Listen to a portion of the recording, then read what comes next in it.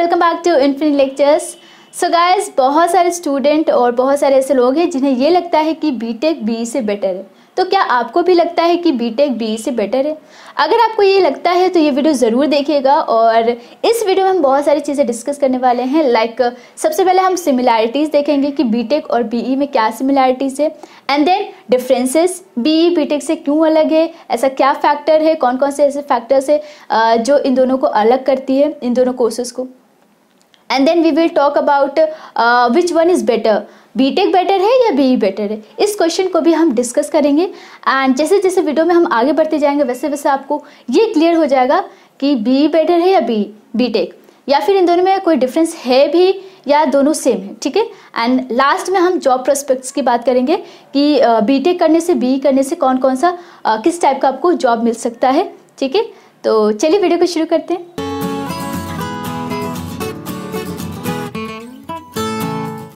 सबसे पहले हम सिमिलैरिटीज़ की बात करेंगे. बीटेक कोर्स और बीई कोर्स में सिमिलैरिटीज़ क्या है? सो नोमिन एंड अप्रोच ऑफ़ कोर्स में बहुत कम डिफरेंस है.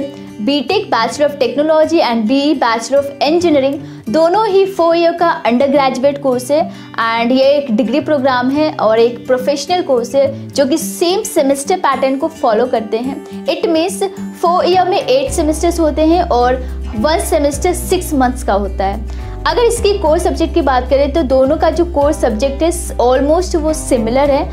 एंड दोनों में ही इंडस्ट्रियल ट्रेनिंग कंपलसरी है। अगर स्पेशलाइजेशन की बात करें तो बीटेक में जो जो स्पेशलाइजेशन है वो सब आपको बीई e में मिल जाएगा। जैसे civil engineering mechanical engineering computer science information technology ये सारी चीज़ें आपको बैचलर ऑफ़ इंजीनियरिंग में भी मिल जाएगा। इट मीन्स दोनों का सेम ही होता है। करियर अपॉर्चुनिटीज़ बीई और बीटेक में ऑलमोस्ट सिमिलर है. सो so, इसके बारे में हम आगे डिस्कस करेंगे कि बीई कंप्लीट करने के बाद या बीटेक कंप्लीट करने के बाद आपके पास किस टाइप का जॉब है यानी कि आपके पास जॉब अपॉर्चुनिटीज़ क्या क्या है.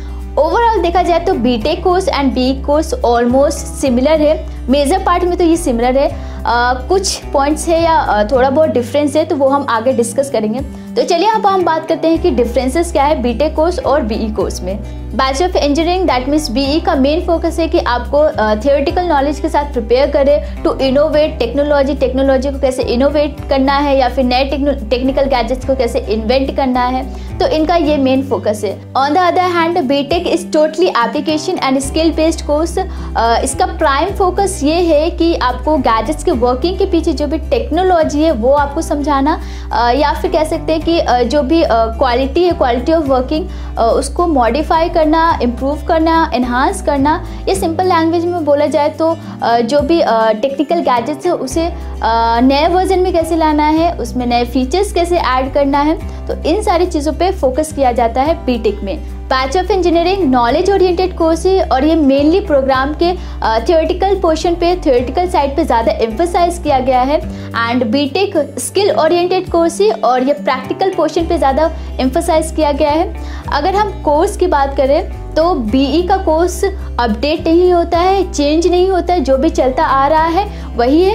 एंड uh, अगर बीटेक की बात करें तो बीटेक का जो कोर्स है वो अपडेट होता रहता है उसमें चेंजेस होते हैं क्योंकि टेक्नोलॉजी uh, है बीटेक और जैसे जैसे टेक्नोलॉजी में चेंजेस होते हैं वैसे उसका जो सिलेबस है जो कोर्स है उसमें भी चेंजेस होते हैं। अगर हम बीई के कॉलेजेस की बात करें टॉप के तो अन्ना यूनिवर्सिटी या फिर बिट्स uh, पिलानी ये ऐसे कॉलेजेस हैं जो बीई कोर्स ऑफ़र करते हैं। अगर हम बीटेक की बात करें तो बीटेक मेनली इंस्टीट्यूट्स ऑफ़र करते हैं लाइक आईआईटीज़ या एनआईटीज़ सो गाइस जो प्रैक्टिकल से प्रैक्टिकल पोर्शन में डिफरेंसेस है।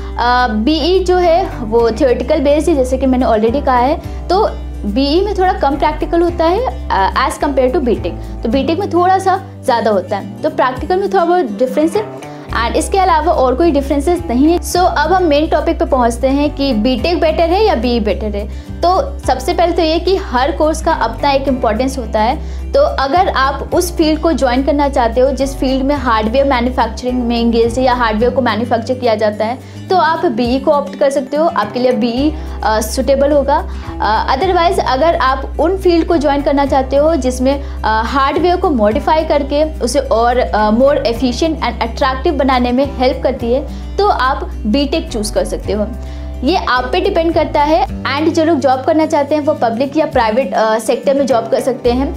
बट उनको मिनिमम 60 परसेंटेज मेंटेन करना होगा, कम से कम 60 परसेंटेज स्कोर करना होगा बीटेक या बीई में, ताकि उसका जो सैलरी पैकेज हो वो अच्छा हो और जॉब भी काफ़ी अच्छी हो। नेक्स्ट जो गवर्नमेंट जॉब करना चाहते हैं, वो IES के लिए अपियर हो सकते हैं। इंडियन इंजीनियरिंग सर्विस एग्जामिनेशन जो कि गवर्नमेंट डिपार्टमेंट बहुत सारे जॉब ऑफ़र करती है। तो इसके लिए आप अपीयर हो सकते हो। आप अपने इंटरेस्ट और फ्यूचर प्लान के बेसिस पे इनमें से कोई भी करियर ऑप्शन चूज़ कर सकते हो। और ये कहना बिल्कुल गलत होगा कि बी टेक बी से बेटर है, क्योंकि A I C T E all India council for technical education ने कहा है क्लियरली कहा है कि वो बी टेक और बी को सेम इक्वल रिकग्निशन प्रोवाइड करते हैं। अब आप सोच रहे होंगे कि ए आई सी टी क्या है? तो AICTE All India Council for Technical Education was set up in November 1945 as a national level apex advisory body to conduct a survey on facilities available for technical education and to promote development in the country. तो अब हम बात करते हैं job prospects की। तो BTech और B complete करने के बाद आपके पास मेनली दो ऑप्शन है। Either you go for higher education और you go for job private और गवर्नमेंट जॉब तो पहले अगर हम हायर एजुकेशन की बात करें तो बीटेक कंप्लीट करने के बाद या बीई कंप्लीट करने के बाद आप एमई e या एमटेक कर सकते हो। या आप मैनेजमेंट के लिए आप एमबीए या फिर पीजीडीएम कर सकते हो। इसके अलावा आप एमएससी कर सकते हो एमएस कर सकते हो। अगर आपको अच्छे कॉलेज में एडमिशन लेना है तो इसके लिए आपको एंट्रेंस एग्ज़ाम में अच्छा स्कोर करना होगा। इसके लिए आप गेट जी या फिर आई का एग्ज़ाम दे सकते हो। आप India as well as abroad से पीजी कोर्स कर सकते हो।